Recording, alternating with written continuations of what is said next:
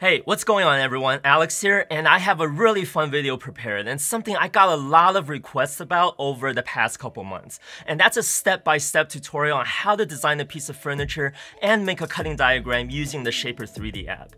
And if you've seen my previous video, you know why I love Shapr3D and why I love creating on the iPad. So today, I'm going to design a piece of furniture using this app from start to finish and go through the process as I'm creating it, and I'll show you my workflow within this app.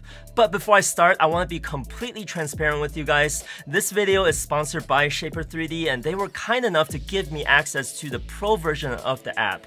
But everything I do in this tutorial can be done using the free version. At the end of the video, I will touch a little bit on the differences between the two and if the pro version is something you would like to try out, you can get a discount to the app by using the code BEVELISH10.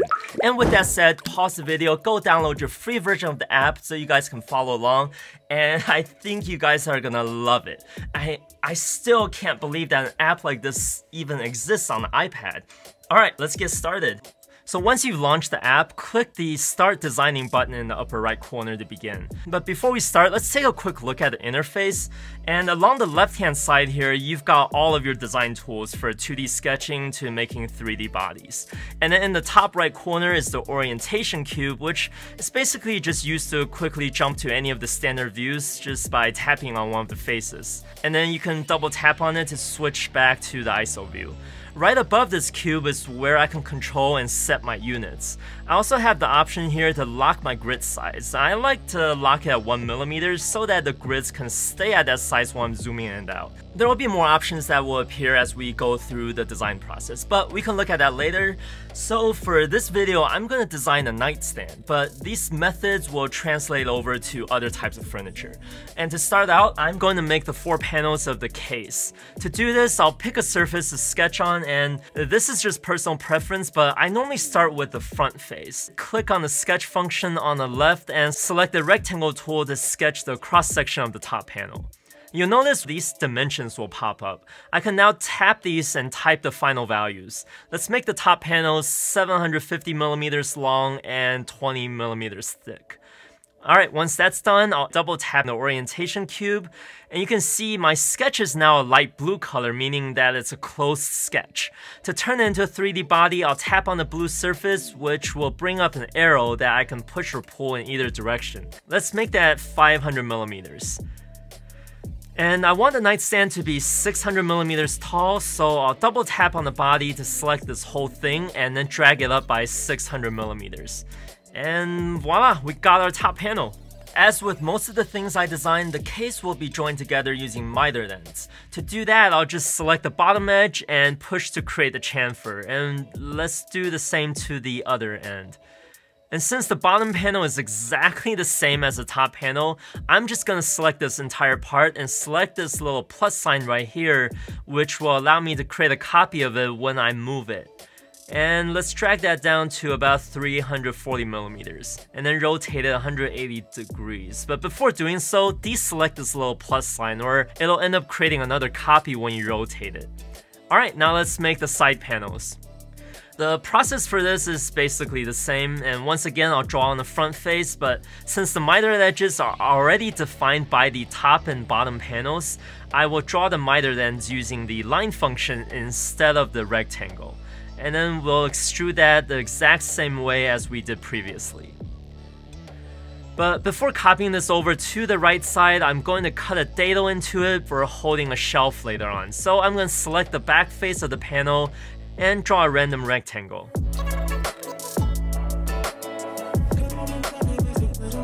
Once that's done, I can size it and place it correctly using constraints. Let's set the space between the shelf and the top panel to 100 millimeters. Now, to cut the dado, I'll just push this sketch into the panel and let's make this a stop dado and end it about 40 millimeters from the end. And alright, since this dado isn't in the middle of the panel, we can't simply just make a copy of it like we did for the top and bottom panels. Or, you know, the dados won't line up. So instead, I'm going to use the mirroring function, which you can find under the transform icon. And as with any CAD programs, there are multiple ways of doing this. I find it easiest to just double tap on the part I want to mirror, and then pick the surface on the part itself that you want to mirror the body about. As you can see, the right panel is sitting right up against the left panel now. We can either double tap and drag the panel to its final location, or we can just use this align function under the transform menu and select the two edges that needs to be aligned, and it's done. And I think for this nightstand, I'm going to bevel all four edges of the front panels. Alright, now let's use everything we've learned so far and make the horizontal shelf. And I'm going to start with the back view for this so that I can use the dados on the side panels as reference. Since the span is pretty long, we actually don't have to get the dimensions right the first time. Just draw it any size you want and then tap one of the points to bring up the translate arrows and drag the edge over until it snaps to the dado on the opposite side. Once again, just push or pull to extrude this shelf. And even though we use stop dados on the side panels, I'm still going to extrude this all the way to the front. And you can clearly see here that the shelf is interfering with the side panels. But to cut away the corners on the shelf, I'm going to go under tools and select the subtract function. And then first select the part that we want to remove material from, and then select the bodies used to do the cutting, which are the side panels. Now click done, and if we pull the shelf out, you can see the corners have been removed. There we go. Alright, before we start moving on to other parts of the nightstand, this is the point when I start organizing the workspace. And Shapr3D has a really intuitive items manager that I used to keep all the different parts of the project separated and organized. The item manager works very much like the folder system on a computer where you can group different items together in a folder. And for me, I like to keep all the items for the case in one folder, the legs in another, and then the drawers in a third. This way I can quickly hide or show certain groups depending on what I'm working on on at the time. And the way I do this is just come down here and tap the folder icon which will create a new folder. And now select all the features and drag them into the folder. Unfortunately at the time of this video's release, you'll have to tap on each feature individually to select them. And I hope soon we can select everything just by dragging the pencil down or use something like a lasso tool and circle all the parts we want, but for now this is how we have to do it. Alright, now let's proceed with the legs. And as I begin to build more and more folders, its uses will be more and more apparent. But alright, anyways, let's get back to the front view and draw the shape of the leg. A thing to note here is I don't actually have to go into the sketch menu to start sketching. I can simply start drawing lines and the app will automatically know what I want to do. And this is what Shapr3D calls their adaptive user interface, where the app predicts what I want to do next and then tailors the whole interface to fit my needs. And this is just one of those subtle but significant improvements that Shapr3D has over traditional CAD programs, and it really improves the efficiency of my workflow. Anyways, I'm digressing and uh, let's get back to designing. So I kind of just randomly drew these lines so that I can show you how to use the constraint tools. The first thing I'll do is make the top and bottom edges horizontal by selecting both and then tap the horizontal vertical function. Now let's set the height of the leg to 260 millimeters and the bottom edge of the leg to 25 millimeters and the top edge to 75 millimeters. Alright, and then let's set the leg angle to 15 degrees. Alright, that's looking pretty good. Now let's move the sketch over to the case, which I can do just by tapping on any of these points and then dragging the arrow. And once that's in place, let's set the thickness of the leg to 25 millimeters. And if you watched any of my build videos before, you know I like using bridle joints to attach the legs to the stretchers. So let me show you how to design that in here. First, let's flip to the top view and then let's hide the case in the items manager so that we can draw on the top surface of the leg. And notice these purple dots here, they actually represent the midpoints of these lines. I'm gonna use these midpoints to help position my first line so that it sits in the middle of the leg. And then I'll draw two more lines parallel to it. And to set their positions, I will select them and then pick the symmetry tool. Then let's pick the center line and now these two lines will be centered and equally spaced no matter what dimensions I set them to. Alright, now let's push that sketch into the leg to cut out the mortise. But since the leg is angled, you actually have to push this surface to get the mortise all the way through. Alright, now let's bring back the case and take a look. So I think these legs would look really good if they sat in like an X formation. And the way I like to do this is draw a line from corner to corner along the bottom of the case. Then if I pick the edge of the case and this line, I'll get the angle and it says 33.69 degrees. So this is how much I will need to rotate the leg. And then let's position that to about the middle of the line. Now tap the plus sign and drag a copy of the leg to the opposite corner and then rotate it 180 degrees. Alright, these are looking pretty good. Now let's make the cross brace. And I'll switch back to the top view and hide the case. And as you can see, all of the lines that we made previously are showing up here. And that's because only one sketch may be made on each plane in Shapr3D. Any additions to those sketches will become part of the original sketch on that plane. So it might seem a little messy at times, but keep in mind that these sketches are only used to define the 3D bodies. Once those bodies are made, these sketches aren't really useful anymore. And if I need to make any changes to the bodies later on, I can just make those changes directly on the 3D parts. So to keep my workspace clean, I'm just gonna delete these. Alright, now let's draw a rectangle and make that 25 millimeters wide and extrude it down 40 millimeters. The first thing we want to do is make it parallel to the angle of the legs. So let's select this edge on the brace and then this edge on the leg and then use the line function for that. Now let's pull it past the other leg.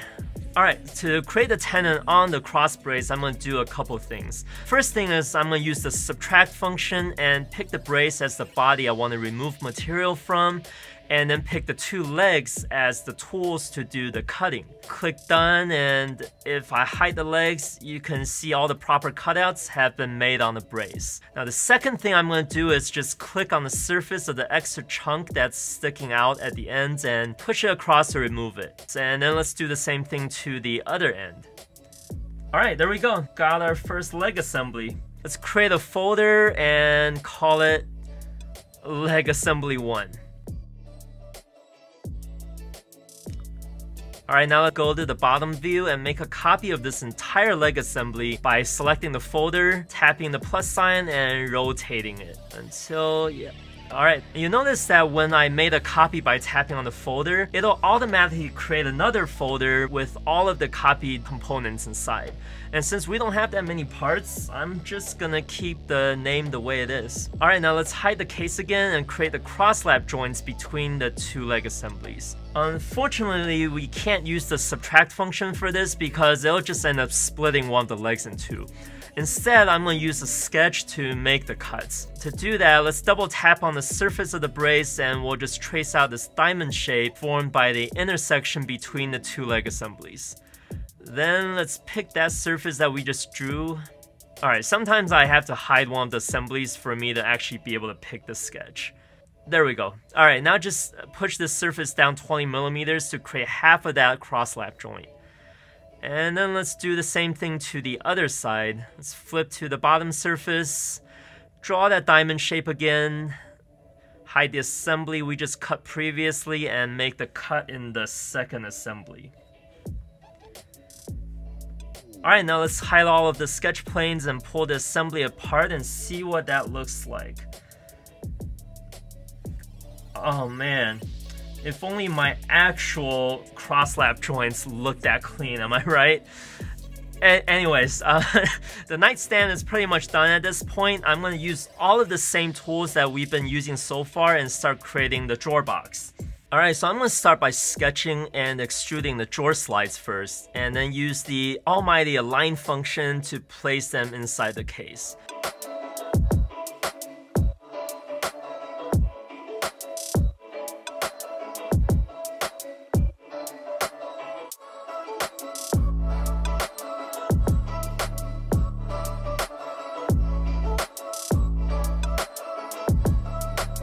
So these will actually help me determine the overall width of the drawer box. And remember how I said earlier that the sketches aren't linked to the bodies? That's actually something we can take advantage of here and extrude that previous sketch for the slides and then just adjust the 3D body to make the drawer box panel.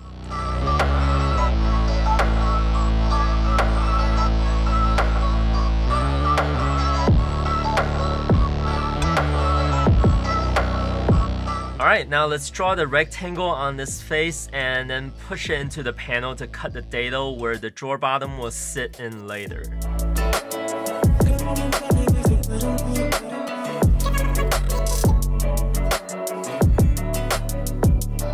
And now let's make two copies of this part. One will simply be flipped and then aligned to the opposite side.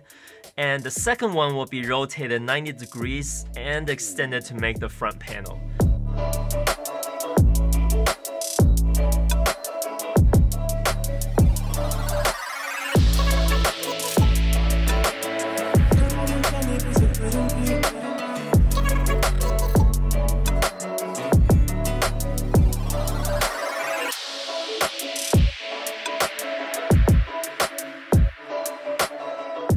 But before we make the back panel, let's make the drawer bottom first. Unlike the previous sketches where we just drew on the faces of existing parts, I'm actually going to create a construction plane for this. And that's because the dados are 5mm deep, the drawer box sides are 12mm thick, so the drawer bottom edge actually starts 7mm from the end of the side panels. That's where we need to place the construction plane. And to do that, I'm going to select the end face of the side panel, then pick the add plane function over on the the left, and then push it 7 millimeters. So that will define the rear edge of the bottom panel, and as you may notice already, it's gonna be difficult to use the dados as reference this time because they're not on the same plane as the one that we're sketching on. So what I'm gonna do is pick the three edges of the dado and over on the left pick project and select sketches and then pick the construction plane as the plane that the edges are going to be projected on. Alright, now let's do the same to the other side.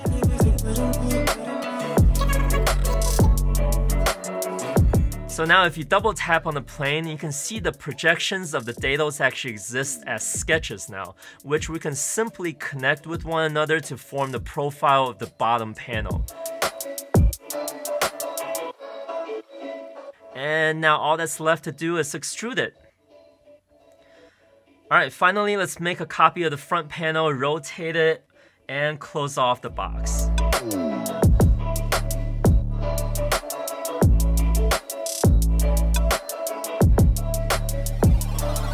And last but not least, let's begin making the drawer front. I'm gonna create a plane first and then project the drawer opening onto it for reference.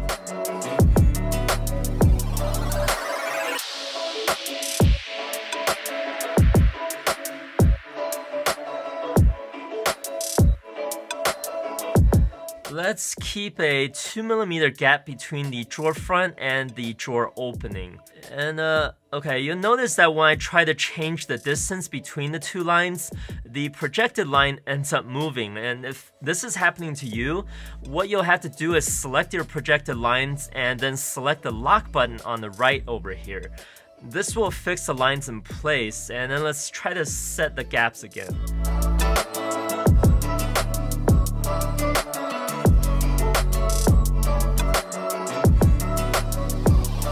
There we go. Alright, now extrude it to finish up the drawer front. And I guess all that's missing is the handle. Let's double tap on this front face and draw a rectangle.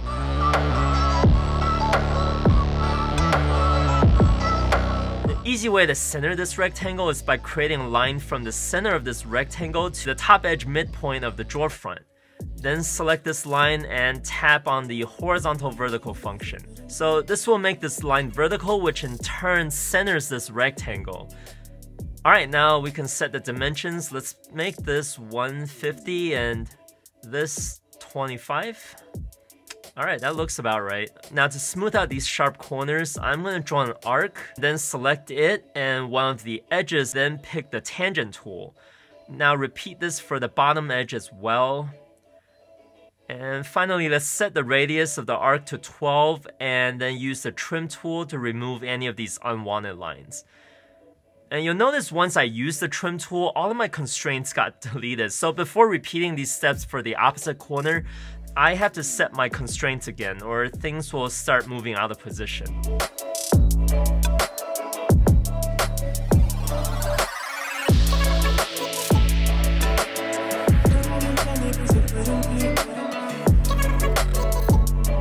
Alright, finally let's push this shape into the drawer front and create the cutout.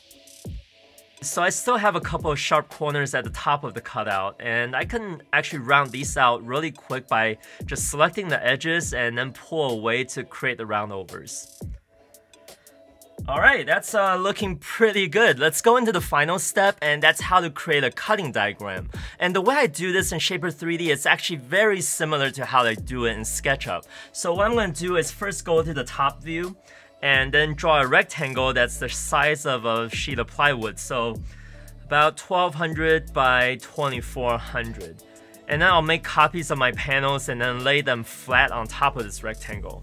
I normally start with my largest pieces, so in this case, the top panel. Now just double tap, click this plus sign and drag it over. And I'm gonna just flip it over so that the larger face is facing down. And then now I just wanna show you how the translate function works. Um, double tap to select your part, select translate, then pick a starting point on your panel and then an end point on the sheet of plywood, and then click done. Now that the top panel is in place, just make another copy of it and then place it using the align function. It's just much easier to do it this way since the top and bottom panels are identical.